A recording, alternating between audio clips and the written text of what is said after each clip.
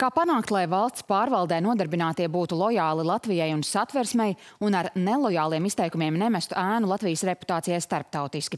Saimnes valsts pārvaldes un pašvaldības komisijas deputāti pēc garām diskusijām nolēma plānotajos likuma grozījumos sašaurināt valstu loku, pret kuru teritoriālo nedalāmību nedrīkstētu vērsties valsts pārvaldēs nodarbinātiem. Taču diskusijas par grozījumiem likumā vēl turpināsies. Plašāk stāsta kolēģe Zandozola Balode.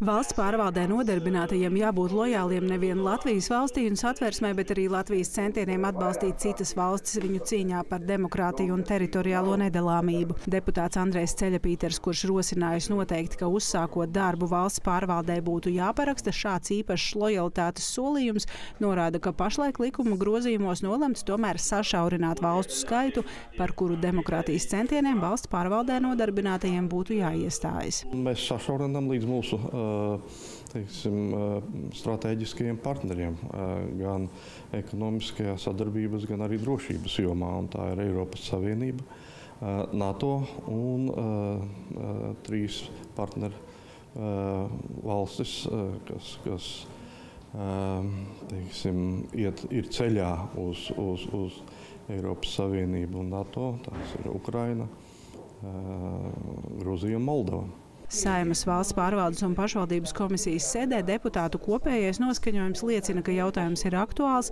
un īpaši no valsts pārvaldē nodarbinātajiem nebūtu pieņemama atklāta, piemēram, prokremliska retorika. Manuprāt, valsts institūcijas gadījumā, ja kāds ir īpaši augsta līmeņa ierēdnis, ir paudis šādu viedokli, kas nonāk Krievijas ģeopolitiskajās interesēs, tas met ēnu tikai uz šo vienu personu, bet met ēnu uz visu, visu valsts iestādi un starptautiski tas var mest ēnu uz valsti kā tādu. Un tomēr pašlaik sarežģītākais uzdevums, kā šo prasību ierakstīt likumā un kā pēc tam kontrolēt tās izpildi. Viens no ieteikumiem - darbinieka izteikumus vērtētu darba devējs un iespējams arī valsts drošības dienests. Taču, lai jautājumu nesasteigtu, deputāti nolēmuši pēc mēneša attālināti satikties vēlreiz, lai diskusijas turpinātu.